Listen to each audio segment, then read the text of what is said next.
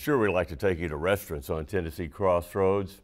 And while the food usually takes center stage, there's usually a story there too about the people or the location. Well, this one has it all. Gretchen Bates takes us to an historic home on Jefferson Street in Nashville that, thanks to a family, is home to some very delicious brunches. Hi guys, how are you all? No matter what you order at the Garden Brunch Cafe, it comes with a heaping helping of hospitality. How's everything so far? Wonderful. Well, it's a pleasure having you guys. Thank you so much for coming. That hospitality goes hand in hand with the exquisite home cooking that Jennifer Carpenter and her husband Karl serve at the Nashville Hotspot. To go with no peppers and no onions. My mom's from Baton Rouge, my dad's from New Orleans. They're both excellent cooks. And that Louisiana heritage equates to some fine dining. It's got a southern New Orleans type flair.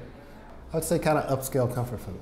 But Karl and I, when we met, uh, he was an executive, so we traveled quite a bit.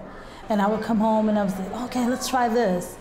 And so I would bring things back from when we traveled and try them out on the kids. And it was something they liked, and we would do it over. And so here we are with this restaurant and that's pretty much how we came up with all the recipes. It was things that my children loved that we would have for brunch on the weekends.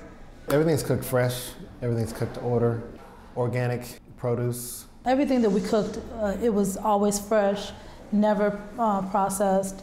So uh, you learn to cook when you're cooking real food. That real food becomes a real treat thanks to Jennifer and family, a word that's used a lot around here. It's totally a family affair. From my son-in-law, who is the head cook. I have a son and daughter that are servers. My youngest son cooks in the kitchen. Everybody gets involved, and, and even the staff, the people that work here, you know, we consider everybody as family. So. And that consideration extends to their customers as well. We try to make everyone feel like family. Um, no matter who they are, where they come from, we want them to feel welcome. Well, you know where to come eat. Yeah, yeah, We'll take good care of you. Yeah. The Carpenters are also caretakers of a piece of Nashville history. You see, the cafe was the home of a famous architect. I'll bet you're familiar with his work. This used to be uh, William Strickland's home. He designed the Nashville Capitol. The story is that he lived here away from town, which is like right around the corner, away from the big city to be here. So he would come here to kind of relax during the, the building of the Capitol. His dog was buried on the side. He had a love for his dog, and his dog was buried on the west side of the house. There was a little tombstone there, and they took it and put it in the Tennessee Museum. Um, but we still have the house. well, the building is 180 years old. We bought it about 10 years ago, and it was in a pretty bad shape inside, really dilapidated. So we, we had to gut the place. We tried to maintain the integrity of the, the exterior of the building. Maintaining integrity inside the building is a menu filled with delightful twists on brunch favorites, including a particularly scrumptious dish that has attained legendary nay, spiritual status. The Banana Foster Pancakes. Banana Foster Pancakes. Bananas Foster's Pancakes. The Banana Foster Pancakes. They're very sweet.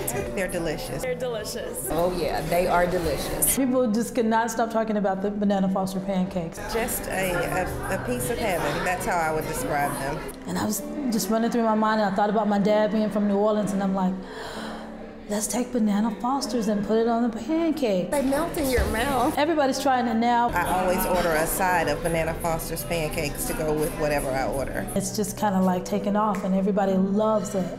But it's that traditional Foster that you would get in New Orleans. They are the best pancakes I've ever had in my entire life. The cafe is a treat for the most discerning palate, but you can also feast your eyes on the works of talented local artists.